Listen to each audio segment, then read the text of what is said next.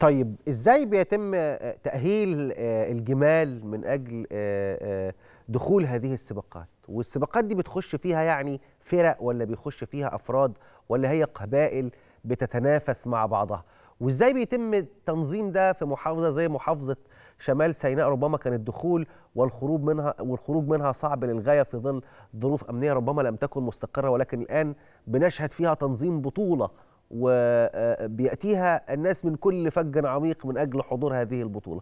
تفاصيل عن سباق الهجن في مدينة العريش آه، آه، نعرفها بالتفصيل مع الشيخ عيد آه، مع الشيخ عيد حمدان المزيني رئيس الاتحاد المصري للهجن. صباح الخير يا شيخ عيد بنصبح على حضرتك آه، معانا في صباح الخير يا مصر. صباح الخير وأنا سعيد بهذا الاطلاع من آه، التلفزيون المصري. وصباح الخير يا مصر. أهلا بحضرتك. قول لنا يا شيخ عيد في البداية يعني عملتوا إزاي هذه البطولة بعد يعني غياب آه، سنوات طويلة عن مدينة العريش إن هي تشهد حاجة زي كده. كلمنا عن التجهيزات والاستعدادات آه، آه، وجود الناس إزاي استقبلوا أيضا هذا الحدث إزاي وسط ربما حرمان لأهالي العريش من وجود فعاليات زي دي. والله أستاذنا العظيم إحنا عارفين يعني مردود هذه السباقات. على آه، أهل القبائل.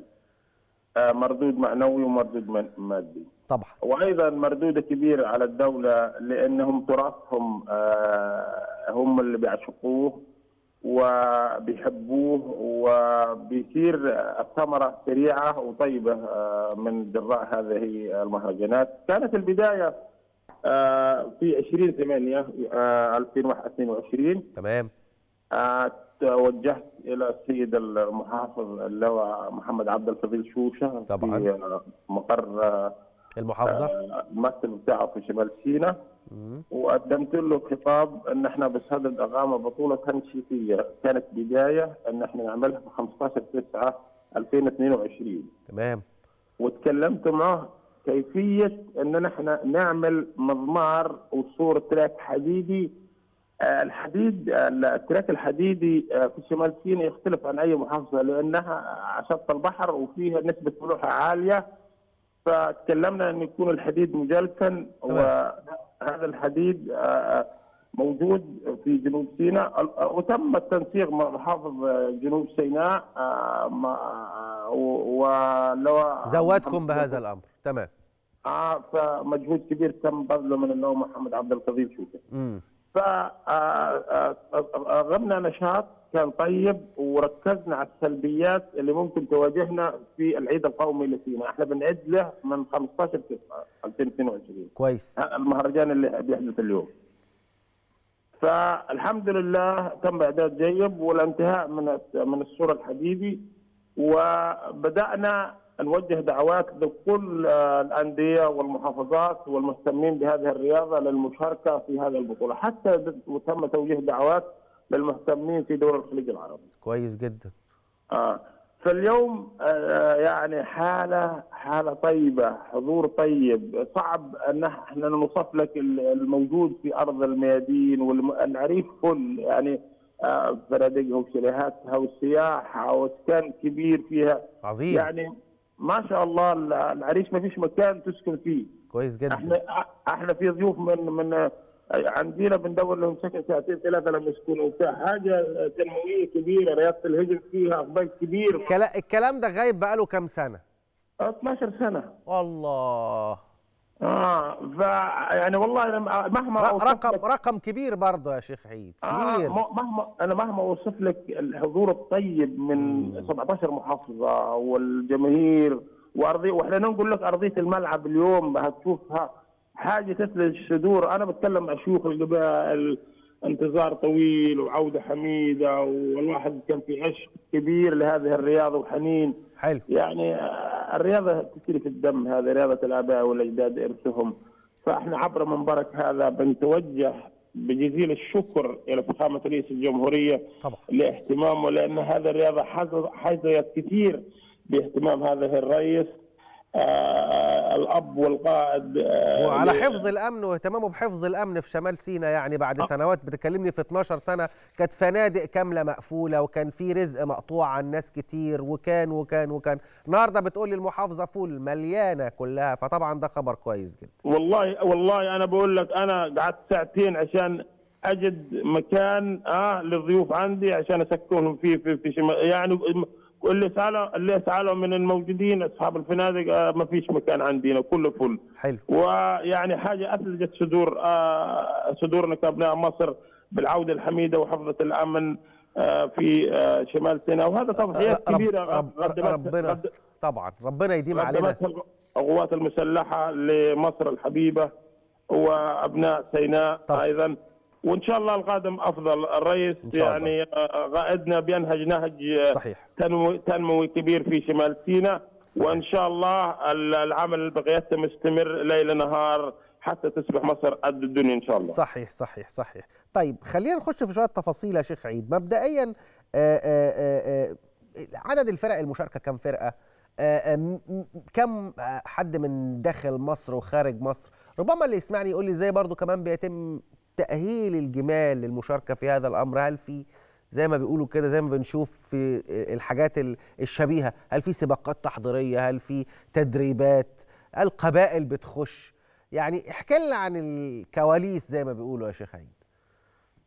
أستاذنا العزيز آه، الجمل الجمل لكي يعد بسباقات الهجن الشهر بيتكلف بيتكلف تكليف مادي على صاحبه 15000 جنيه.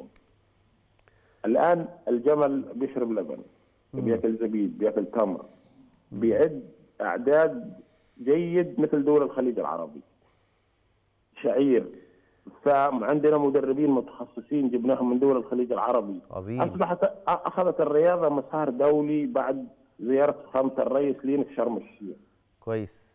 فدلوقتي عندنا 15 آه، نية مؤسسة مشاركة عندنا 22 قبيلة عندنا 560 جمل عندنا 17 محافظة. بقول لك مصر اليوم كلها في آه، ش- مدينة العلي والوافدين من الخليج العربي كام؟ عندنا السعودية والأردن والكويت والإمارات موجودين والسودان. جميل جميل جميل جميل. كل دول فرق جاية بجمالها مخصوص بكل حاجة. يعني تم نقل كل هذه الأشياء. والله إحنا بنشكر آه، القوات المسلحة آه، وبنشكر مدير امن جنوب سيناء آه، وعلى راسهم محافظ جنوب سيناء قدموا تسهيلات كبيرة لنا لمرور آه، هذا آه، الهجن والمدربين والمهتمين بهذه الرياضة. بتتنقل إزاي ربما اللي بيسمعنا برضو يعني أنا عايز أنقل جمل من السعودية للعريش بنقله إزاي ما يخشش في طيارة ده يا شيخ عيد والله وال- والله نقل الهجن آه، آه، دلوقتي عبر سيارات آه، مخصصة. كبيرة آه. معدة مخصصة لهذه الرياضة. إحنا إحنا الحمد لله يعني آه، طوالي المعابر والمنافذ آه، مسهله وفي تنسيق تام من السيد المحافظ آه، في جنوب سي في شمال سيناء آه، وموجودين الناس من يومين وبيتدربوا على أرضية الميدان وإن شاء الله بنسعى لهم عندكم مشاكل المحافظ بيمر عليهم والمسؤولين فالأمور كلها ميسرة وفي ذات اهتمام من الدولة. عظيم. طب عندي سؤال برضو آه، آه، الفرق بين رياضة الهجن في الخليج العربي وفي آه، القبائل العربية في مصر عامل إزاي؟ أنا بشوف اهتمام كبير. يمكن شفت قبل كده المملكة العربية السعودية عاملة سباق هجن كانت حاجة عظيمة جدا يعني. وشفت برضو دول خليجية مهتمة. دي بتعتبر الرياضة الأولى هناك في الخليج العربي. احكي لنا هم عاملين إزاي وإحنا عاملين إزاي وإحنا بنحاول نتواكب معهم إزاي في هذه الرياضة البدوية. والله يا أستاذنا العظيم ال- الرياضة في الخليج العربي آه، في مستشفيات خاصة آه، آه، عدت في ميادين دولية ومتخصصة. أيوه الرك- الركب الآلي ب- ليس بشري بالركب آه، في أطباء متخصصين على أعلى مستوى. أيوه في خلال أربع سنوات إحنا أول الحمد لله أول ما استلمت الاتحاد المصري مطلع 2018 وضعت اهتمام كبير بالرأس المال الاجتماعي العلاقة بالدولة. والحمد لله نجحنا. آه، وضعت الاحتكاك الدولي مهم جدا والعلاقة بالذات مع أكبر دولة عربية في رياضه الهجن هي الإمارات. والحمد لله الآن دولة الإمارات لها أربع سنوات بتنظم آه، وبتدعمنا بكل الإمكانيات في شرم الشيخ.